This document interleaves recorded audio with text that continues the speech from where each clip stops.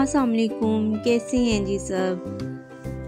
अभी थोड़ी देर पहले बारिश हुई थी और देखिए कितना ही खूबसूरत मंज़र है। ये जो है ना, ये रेनबो बनी हुई है। और बहुत ही खूबसूरत लग रही थी। मैंने इसकी वीडियो बनाने की कोशिश की है, लेकिन वो इतनी क्लियर नहीं हुई। मैंने सोचा, चलें आपके साथ भी शेयर कर दूँ। बहुत ही खूबसूरत मंज़र था और बहुत ही खूबसूरत कलर से। अगर आपने भी कभी रेनबो देखी हो तो ज़रूर बताइएगा मुझे। और ये एक पार्सल है, इसका मुझे बहुत ही दिनों से इंतज़ार था। मैंने ऑनलाइन जो है, वो कपड़ों का, कुछ कपड़ों का ऑर्डर किया हुआ था। फैमिली में एक शादी आ रही है और उसके लिए जो है ये मैंने ऑनलाइन अनस्टिच कपड़े हैं ये उस, उनका ऑर्डर किया था। और काफ़ी दिनों से इंतज़ार था क्योंकि ज़ाहिर है ये पार्सल मुझे मिलता तो उसके बाद ही मैंने इसको टेलर को दे के इसको स्टिच भी करवाना है। तो देखते हैं कि कैसा है और फिर इसके बाद मैं इसको टेलर को दूँगी। तो फिर जब ये सिल के आएगा ना फिर मैं आपको दिखाऊँगी कि ये कैसे कपड़े सिल के आए हैं। अभी तो जो है ये खोलते हुए भी मुझे डर लग रहा है कि कहीं साथ कपड़े भी ना कट जाएँ, क्योंकि इसकी पैकिंग कुछ इस तरह की हुई हुई थी कि मुझे बड़ी एहतियात से इसको खोलना पड़ा है। तो और ये ढेरों ढेर जो सब्ज़ियाँ आपको नज़र आ रही हैं, ये अभी कुछ देर पहले ही मैं लेकर आई हूँ। और सब्ज़ियाँ जो हैं, वो ये तकरीबन एक हफ़्ते की, जो है, वो मैंने ले ली थी। प्याज है और टमाटर, अदरक या आलू हैं और धनिया, सब्ज़, मिर्चें, ये तो ऐसी चीज़ें हैं जो रोज़ ही हर खाने में ही इस्तेमाल हो रही होती हैं। और इसके साथ ये मैंने टिंडे ले लिए थे गोभी थी और करेले थे।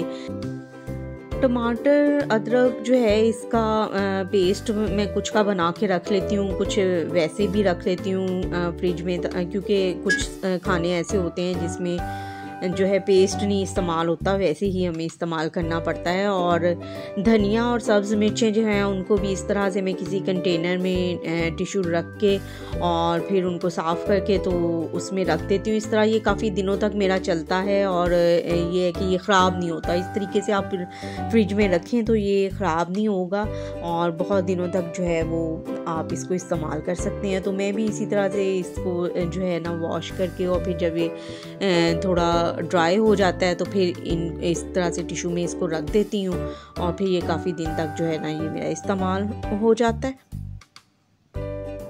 आप भी कोशिश किया करें कि सब्ज़ियों को इस तरह से जो है वो ख़ास तौर पे धनिया या सब्ज़ मिर्चें हैं जो कि बड़ी जल्दी जो है वो ख़राब हो जाती हैं। तो उनको इस तरह तरीके से जो है ना वो फ्रिज में रखा करें, इस तरीके से स्टोर कर लिया करें। बड़ी आसानी हो जाती है, आप क्योंकि कभी ऐसा भी होता है कि हमें ज़रूरत होती है और फिर घर पर चीज़ मौजूद नहीं होती है। तो अगर तरीके से हम लोग जो है वो चीज़ों को स्टोर कर लें तो बड़ी आसानी हो जाती है ना, खाना बनाने में। तो आ, ये है जी मटर। जिनको मैंने इसी तरह से फ्रीज़ किया हुआ था और साथ ही गाजरें हैं, गाजरों को भी मैंने फ्रीज़ किया था। और गाजरें जो हैं, जब इन इन सब्जियों का सीज़न एंड हो रहा था, मटर का भी और गाजर का भी, उस वक्त जो है ये मैंने फ्रीज़ किया था। अगर गाजर फ्रीज़ करने की रेसिपी आपने नहीं देखी तो ये मेरे चैनल पर मौजूद है, आप वहाँ से चेक कर सकते हैं, मैं लिंक भी दे दूँगी। तो आज आलू, मटर, गाजर बनाने का मूड हो रहा था। यहाँ मैंने आलू जो हैं, वो काट लिए थे और ये मटर हैं जिनको मैं पहले बॉईल कर लूँगी। और प्याज और जो है लहसुन, इसको चॉप करके मैंने इसमें डाल दिया है। ऑयल में। और ये देखिए, ये गाजरें जो हैं, ये वही गाजरें हैं जिसको मैंने फ्रीज़ किया था। और ये कितनी फ्रेश लग रही हैं, इनका कलर जो है ये बिल्कुल ख़राब नहीं हुआ। आप भी इस तरीके से जो है ना वो सब्ज़ियों को फ्रीज़ कर सकते हैं। और यहाँ लहसुन और अदरक का पेस्ट मैंने डाल दिया था, ज़ीरा डाल दिया था और कुटी हुई सूख मिर्चें डाली हैं।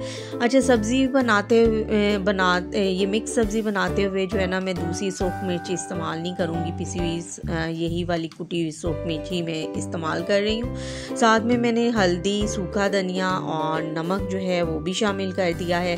और अब हम मसाले को जो है ना वो अच्छे से भून लेंगे। अच्छा यहाँ लहसुन और प्याज जो है वो चॉप करके मैंने डाला था, उसको सिर्फ़ मैंने नरम किया था, उसको बहुत ज़्यादा मैंने फ्राई नहीं किया था। और ये जी आलू इसमें मैंने शामिल कर दिए हैं, और आलू जो हैं, इनको भी हम जो है ना, हल्का सा इसमें पानी भी डाल देंगे ताकि ये थोड़े से गल जाएँ। और साथ ही ये इसमें कटे हुए टमाटर जो हैं, वो भी मैंने डाल दिए थे और जब तक ये आलू टमाटर जो हैं, ये हमारे भुने जाते हैं, एक तरफ़ मैं आटा गूंद लूँगी और आटा गूंदने के लिए मैं ये वाली मशीन जो है, ये इस्तेमाल करती हूँ।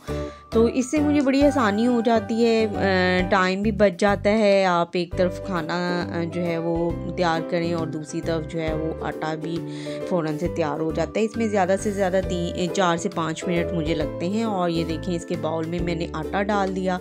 और कुछ भी नहीं करना, सिर्फ़ इसमें हमने पानी डाल देना है और मशीन जो है उसको चला देना है।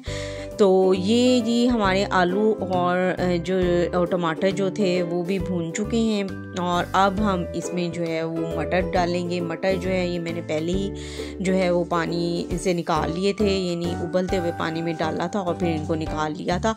और गाजरें जो हैं, ये फ्रीज़ की हुई गाजरें थी। इनको भी एक दफ़ा मैंने पानी से निकाल लिया है।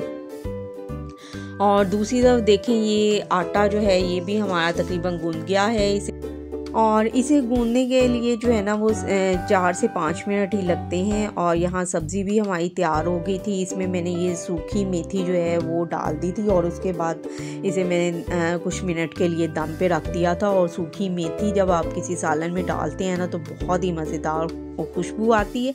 और आटा तैयार हो गया था तो ये इसका जो कंटेनर है बाउल वगैरह वो भी धो के मैंने रख दिया था। और जनाब, सब्ज़ी भी हमारी तैयार है, उसमें कटा हुआ धनिया और सब्ज़ मिर्च मैंने डाल दी थी और बहुत ही मज़ेदार खुशबू आ रही थी इसकी। और आप भी इस तरीके से बनाइएगा इन बहुत ही मज़े की बनेगी। और चलें जी यहाँ साथ ही सूखी रोटियाँ भी मैंने बना ली हैं। अबू के लिए ज़ाहिर सूखी रोटी और सब्ज़ी ही उनको देना होती है, ये उनकी मेडिसन है। तो चलें जी चलती हूँ, फिर मिलेंगे इन किसी नई और अच्छी वीडियो के साथ। अल्लाह हाफिज़।